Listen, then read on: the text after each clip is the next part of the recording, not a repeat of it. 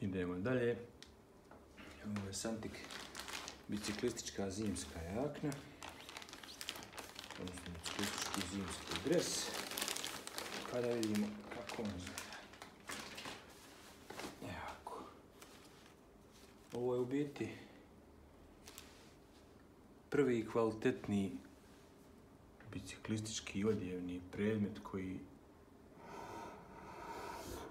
koji sam ja nabavio. Da vidimo šta kaže. Santik. Cycling wear, ok. Aha. I ovdje imam oznaku od koje do koje temperature. Znači, od minus 2 do 8. Isto kao i ova podmajica. Santik. Cycling for freedom. To je neki končić koji je tu sto, ok. ziper sa gore završetkom. Ovog firme njemu, naravno. E, pa da vidimo kako to izgleda kad se razmontira. Ovo dođe unutra. Ok. I ovaj mali što kupi onaj kupi vlagu.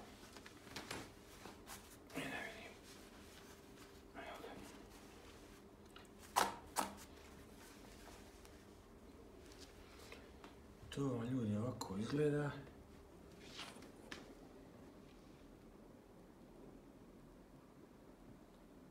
Jakna ima fluorescentne dodatke. Da vidimo. Tu imam džep. Tu imam džep.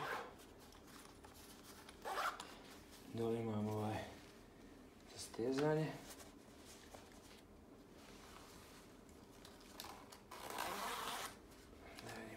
Stanje unutra. Znači unutra imam ispod feškusa ovu oblogu.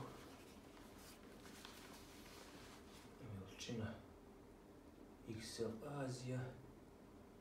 L, EU i to bi meni trebalo biti ok. Po mojim dimenzijama i težini.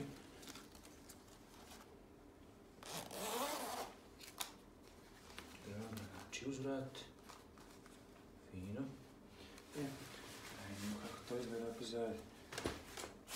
Ovo malo prašne tu. Znači imam tu džep koji je pokriven i samo jedan džep. Osim ima patentni zatvarač. Okay. Tu imam ventilaciju. Gore logo firme. Ovdje fluorescentni umeci i na kraju rukava ću ruku provući. Jako lijepo. Či da mi se ne zavlači vjetar. Fino, fino, fino. Stvarno fino. Ulična stvar Santik. Hvala.